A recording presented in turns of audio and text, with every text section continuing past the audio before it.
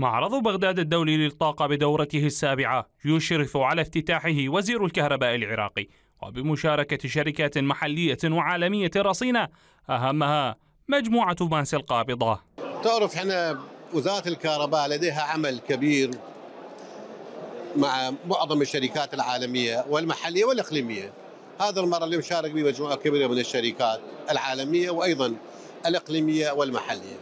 كل هذه الشركات كل بحد حسب اختصاصه شارك أو يشارك في دعم قطاع الكهرباء وتطوير هذا القطاع.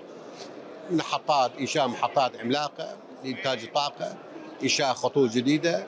مجموعة ماس القابضة واحدة من أهم الشركات المعنية بمجال الطاقة وجدت أن مشكلة الانقطاع المستمر والمتكرر للتيار الكهربائي ناجم عن انعدام الجباية الذي من شأنه أن يطور هذا القطاع في حال لو أنه كان منتظما.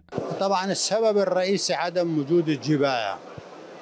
نحن ننتج 4500 المحطات الأخرى في بغداد تنتج بحدود 1500 هاي الكمية من الإنتاج تغطي حاجة العاصمة بغداد.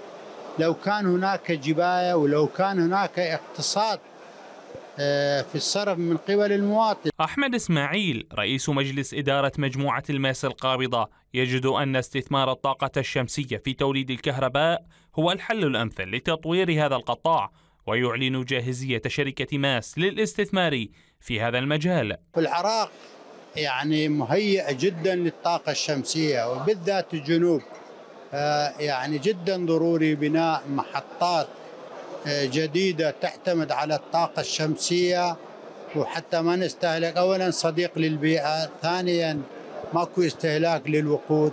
لدينا الرغبة في حالة آه، أن تخطو الوزارة خطوات جديدة في هذا الموضوع. نحن لدينا رغبة أقل شيء نساهم ب 2000 ميجا وات طاقة شمسية سواء كان في الوسط أو كان في الجنوب. هذا المعرض بدورته الحالية يهدف لتعزيز مجال إنتاج الطاقة وتمكين المستثمر من تطوير هذا القطاع بمشاركته الفاعلة.